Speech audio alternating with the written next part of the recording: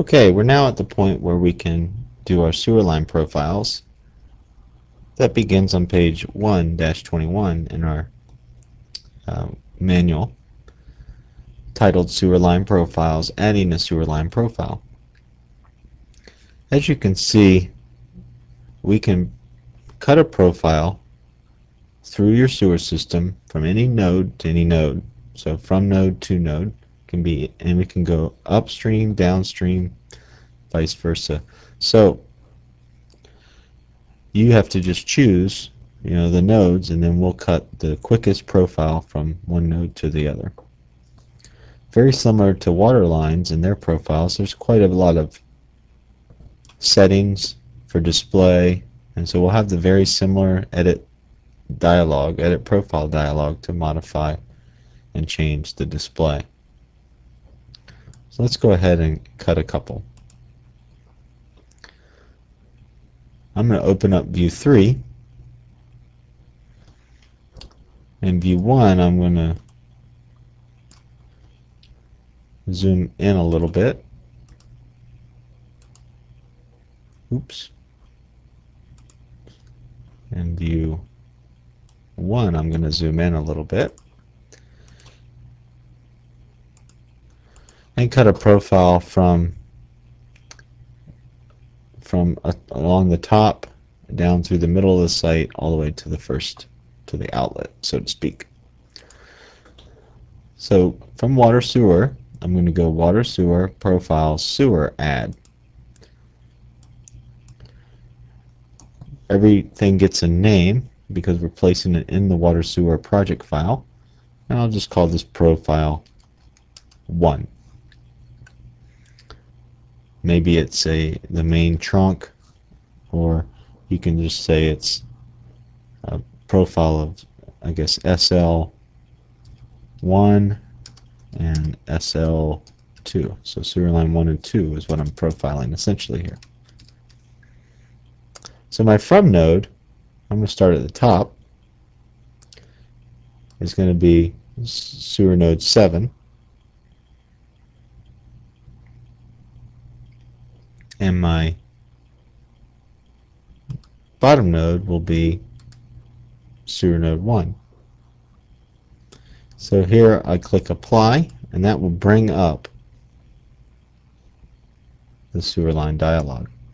Now you'll notice that the display and the grid and labels tab that'll be set up just how I drew the water lines. So it's the same dialog essentially being used so therefore, I want to pull in some preferences on how I draw sewer line profiles. So under my File button, I'm going to open, and again, I'm going to navigate through my folder system to my standards folder. So I'm going to back out of water sewer into site, scroll down into standards, and grab my sewer profile standards for drafting profiles. So I open that up and I'll check the display now. I can see that the soffit and the invert of the pipes are different. My grid and labels, I'm doing a little bit more labeling now. So I just need to, back at the registration tab, I need to establish the lower left point or the registration point. So I click the DP button select a blank area in view 3 that I opened and I'll click apply at this point. And it plots the profile. So I may have to zoom out in view 3 and I can see the profile drawn I can see some information like I can see some drainage there. If I zoom uh, along the pipe, so the conflicts show up.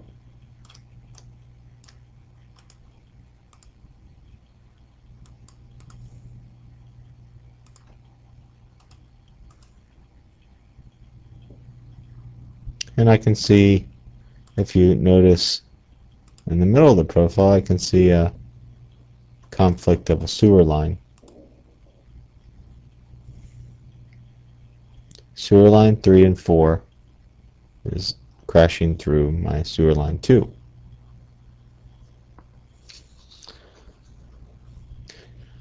And we'll fix that in a few minutes. Before we fix that, I'm going to draw some other profiles. So I'm going to just stack them on top of the other profile. So to create other profiles, you simply go to Water Sewer, Profiles, Sewer, Add, and we'll create a couple more. Profile number 2,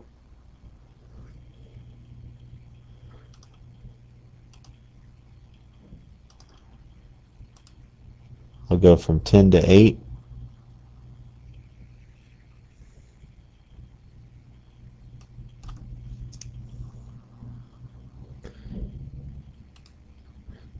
Establish my registration point and apply. Profile again. Number 3 this time I'll go let me zoom out a little bit in my plan view.